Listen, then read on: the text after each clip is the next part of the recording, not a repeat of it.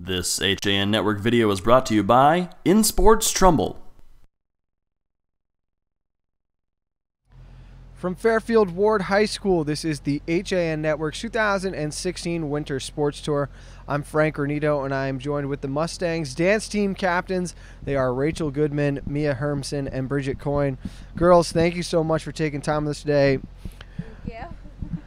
Rachel, let me start with you.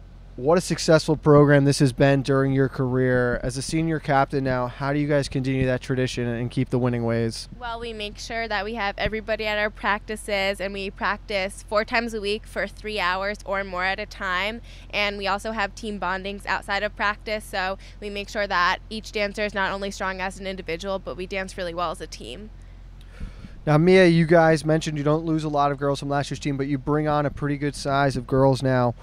What role does this group play in getting the new players acclimated to the roster? Well, definitely I think gaining eight new girls this year. It's um, the biggest amount of girls we've gained in one year, and we lost three uh, great dancers last year. But this year we're really strong, and um, we've been better than ever. Uh, honestly, I think these girls have picked up the moves really quickly, and I think we're going to have a really strong season.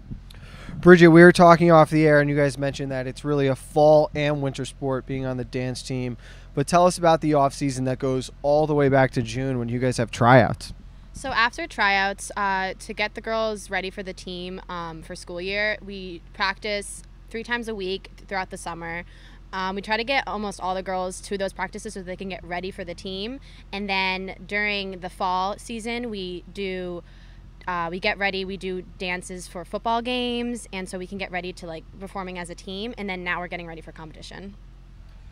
Now, Rachel, is there one competition this season that really stands out for the girls you guys are most excited for? Oh, definitely. States is our biggest competition because we enjoy local competitions a lot, but state uh, states is the biggest one. Everybody's there, and um, we just love performing. There's a huge crowd.